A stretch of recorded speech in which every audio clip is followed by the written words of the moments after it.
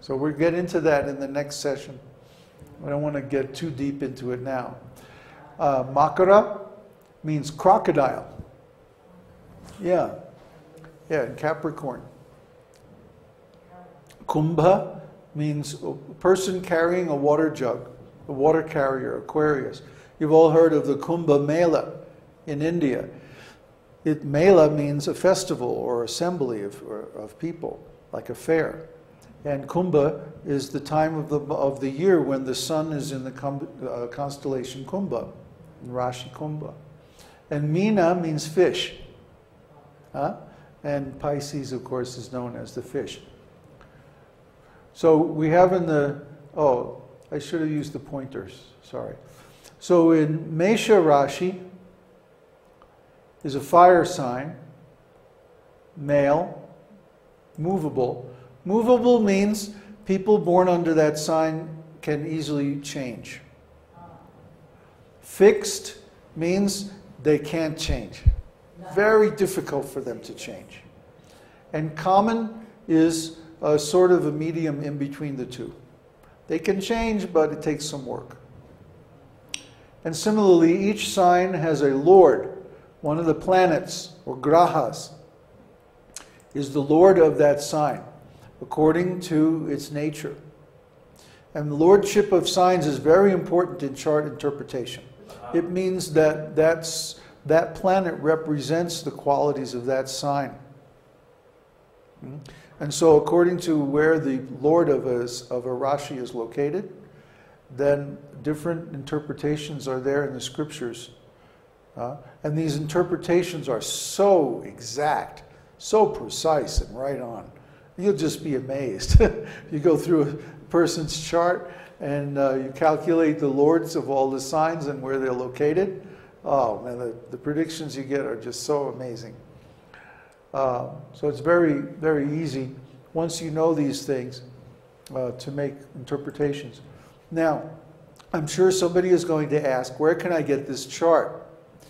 Uh, so all these charts are available for download from our site from the Jyotish course. Uh, uh, maybe later on today, I'll make a post where you can download all these graphics and charts because I'm sure you'd like to have them for study. In fact, these charts, the information on these charts, really should be memorized.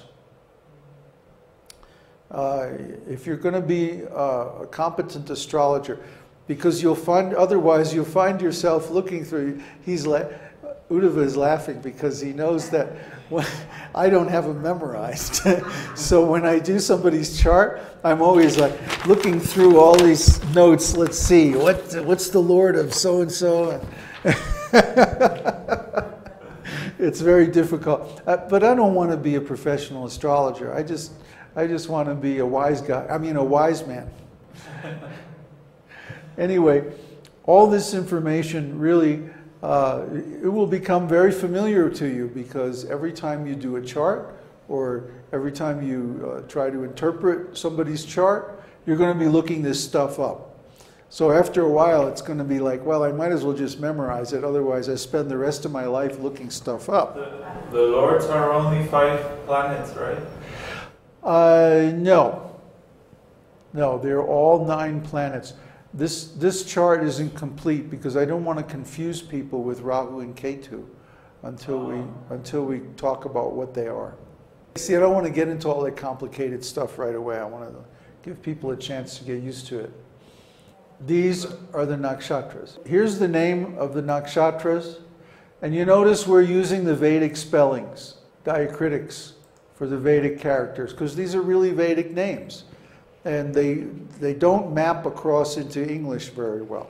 So we're going to use these Vedic spellings as a standard in our course and the Vedic names also uh, because there's like three or four different ways of spelling each one of these in English and none of them are very good because they don't really get all the nuances of the pronunciation. For example, Ashvini Nakshatra is from 0 degrees Aries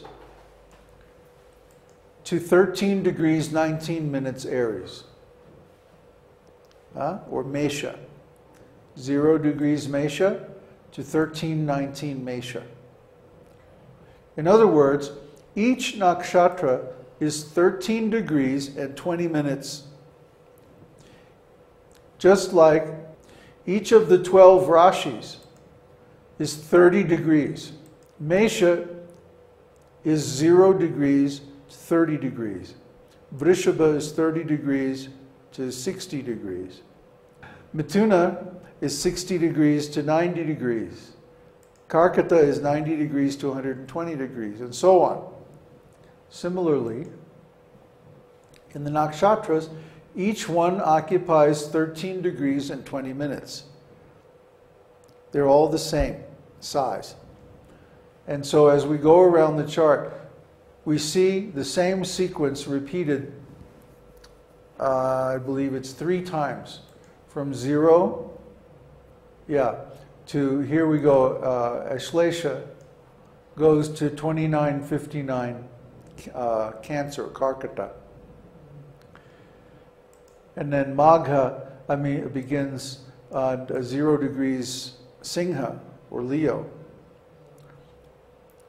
And again, every 13 degrees and 20 minutes. So these are the first 18 nakshatras.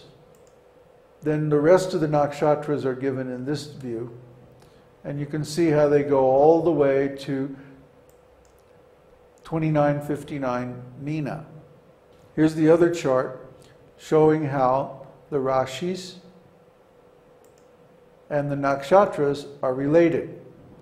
They occupy the same uh, space along the ecliptic. He's saying, are the Rashis and the Nakshatras located far away from another in space? Oh boy. some of them are and some of them aren't. From our point of view, they're all right next to each other in space. But in, you know, relative to uh, the galaxy, no. Some are closer, some are farther away. Uh, like all the stars in the Orion Nebula are relatively close together in space.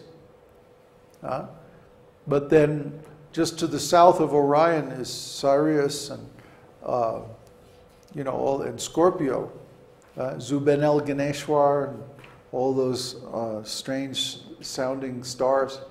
Uh, they're located in a completely different part of the galaxy, but they just appear from our point of view to be located together. Remember, the stars don't control anything. They are just a map by which we measure the motions of the planets, which allow us to determine patterns in time.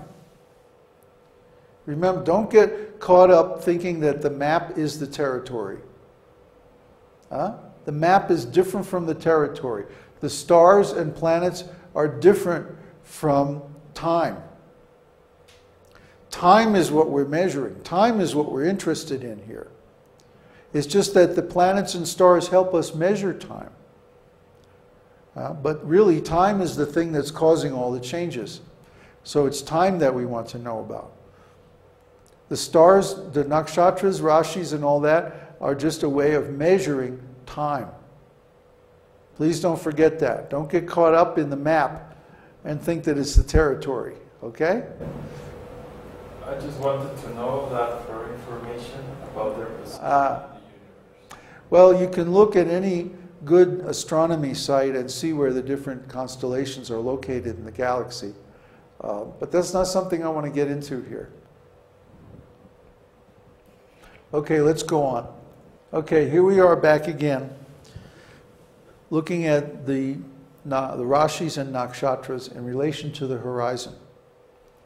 Now let's suppose that we're doing someone's astrological chart. And it so happens that they are born exactly at this moment. Okay? So we have Mesha Rashi rising, uh, one degree and Ashvini Nakshatra rising. Huh? And then on the other side, we have Tula Rashi and Chitra Nakshatra are setting. So, how does that look on a person's astrological chart? Let me point out the different features of this chart. Remember, we have uh, the uh, Mesha Rashi rising. Mesha Rashi is rising, so therefore it's in the east. And Tula, Bhav, uh, Tula Rashi is setting, therefore it's in the west. And from Mesha through Kanya are below the horizon, and from Tula through Mina are above the horizon. Let's go back and look at the sky map again. Let's go back and look at the chart again.